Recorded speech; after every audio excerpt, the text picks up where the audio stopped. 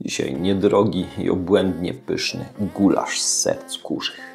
Można zrobić więcej, na przykład na dwa dni, bo świetnie się odgrzewa. Zaczynamy od dwóch marchewek, które obieramy, kroimy na plasterki i wrzucamy do miski. Następnie jeden korzeń pietruszki obieramy i kroimy na plasterki. I dorzucamy do miski z marchewką. Zabieramy się za jedną łodygę selera naciowego, którą też kroimy na plasterki. I dodajemy do miski z marchewką i korzeniem pietruszki. Pora na dwa ząbki czosnku, które obieramy, drobno kroimy i wrzucamy do miski. Zabieramy się za małą cebulę, obieramy, drobno kroimy i dorzucamy do miski z czosnkiem. Przejdźmy do najważniejszego. Do 1 kg kurzych serc, które musimy oczyścić ze wszystkiego, co białe, z tłuszczu i żyłek. Ma nam zostać tylko i wyłącznie czyste mięso, dzięki temu nasz gulasz będzie idealny. Pora rozgrzać patelnię, na którą wylewamy 3 łyżki oliwy.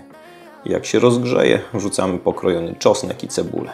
Doprawiamy solą, pieprzem, mieszamy i podsmażamy przez 30 sekund. Dorzucamy oczyszczone serca, mieszamy i smażymy przez 2-3 minuty. Doprawiamy jedną łyżeczką słodkiej papryki, jedną kopiastą łyżeczką wędzonej papryki, jedną łyżeczką oregano i smażymy mieszając przez 2-3 minuty.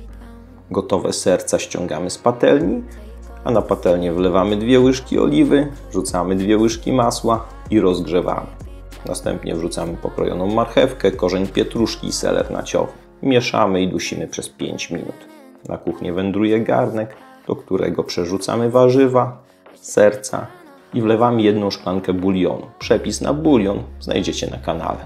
I gotujemy pod przykryciem przez 30 minut. Tym czasie możemy pomieszać nasz gulasz. I gotowe.